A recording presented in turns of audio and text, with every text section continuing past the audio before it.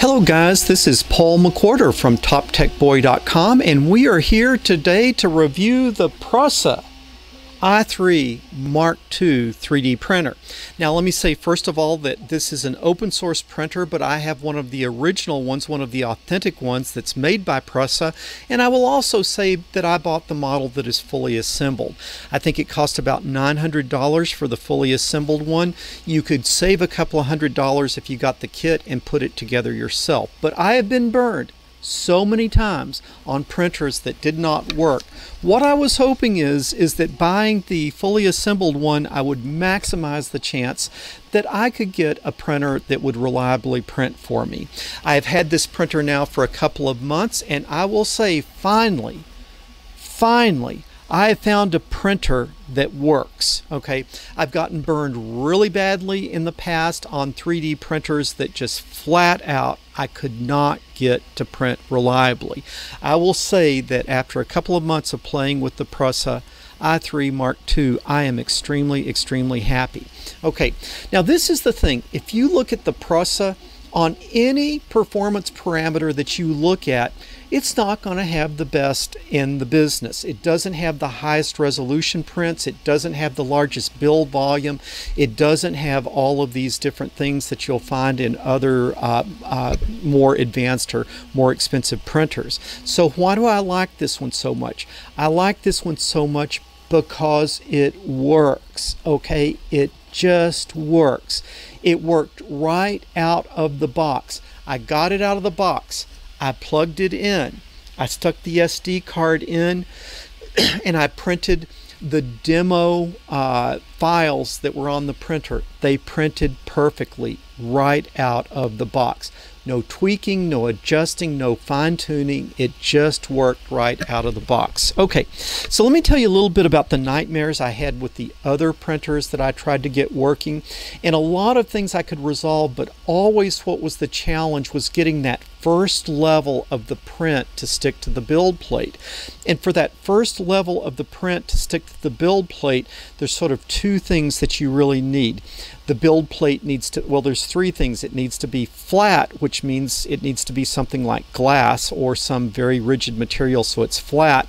And then the build plate needs to be level, so it's not in there askew a little bit. And then the, not, the gap between the nozzle and the build plate on that first level has to be really perfect. So you've got to kind of have those three things for your printer to work. Now in the past I would have good build plates so they were flat, but it was always a challenge to keep the build plate uh, level. And it's almost like you would have to level it every time you printed. And not only would you have to level it every time you printed, but then you would have to set the gap of the nozzle. And so it was just always a challenge to get that just fine tuned in to where you would have that first level that first level of your print stick to the build plate. So what's different about the Prusa than the other printers that I've tried? It seems to have this ability to automatically level the build plate. And what it does is it has a sensor on uh, the print head and when you start a print, it goes to the four corners of the build plate and it makes a measurement. So it sort of sees where the build plate is. And then it has a feature that it call, calls an auto level feature.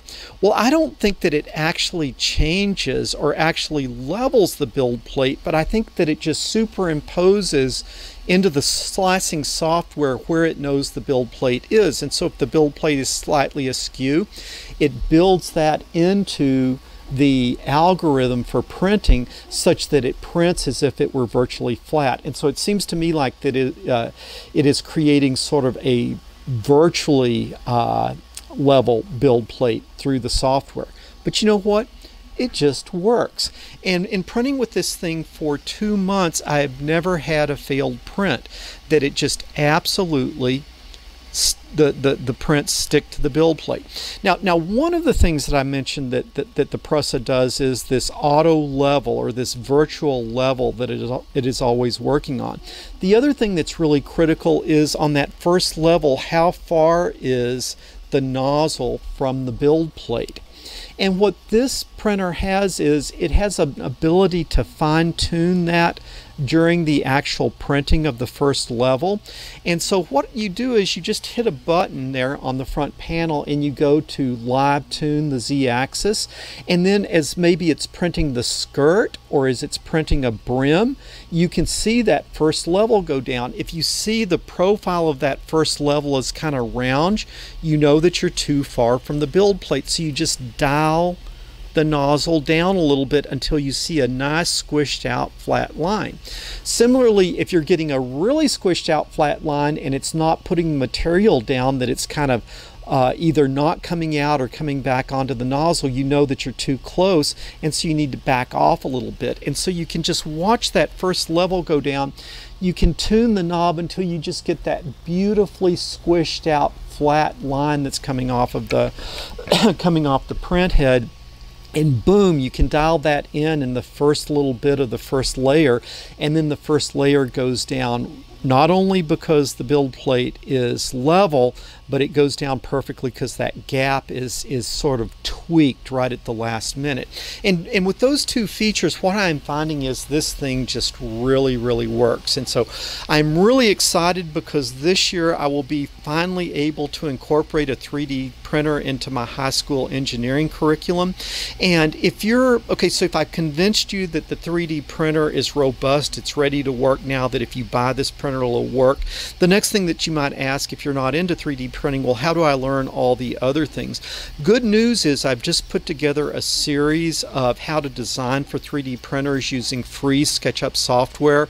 And so if you have this printer, you can just watch my series of lessons on how to use SketchUp, and you will be actually designing your own um, designing your own uh, devices for the 3D printer. Because that's the other thing that, that kind of the gripe I have about uh, 3D printers, and in, you know, in in particular, teachers trying to incorporate incorporate 3D printers into the classroom. So many times either the 3D printer doesn't work or it does work and all the students do is just go to one of the warehouses of designs and just download other people's designs and print them out.